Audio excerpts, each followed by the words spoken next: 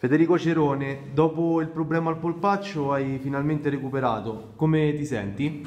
Ma sicuramente meglio, siamo stati a riposo ormai da quasi 20 giorni, considerando anche la partita di Modelica e con le terapie del caso siamo arrivati a buon punto e penso di entrare oggi con la squadra.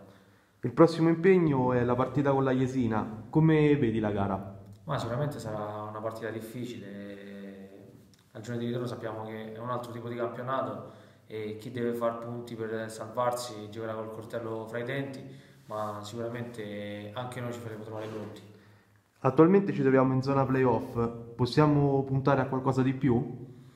No, io penso che la nostra dimensione sia, sia quella dei playoff e effettivamente il campo sta dicendo che sia la Vispesaro che eh, il Manerica stesso hanno qualcosa in più, è giusto riconoscerlo.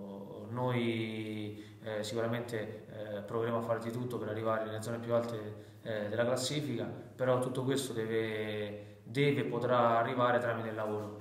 Cosa ti auguri dal girone di ritorno? Ma il girone di ritorno sicuramente mi, mi, auguro di ripetere le 12 partite che abbiamo fatto positive nel giorno di andata e, e girare eh, in maniera diversa le prime 5 dove non abbiamo dimostrato il nostro, il nostro reale valore.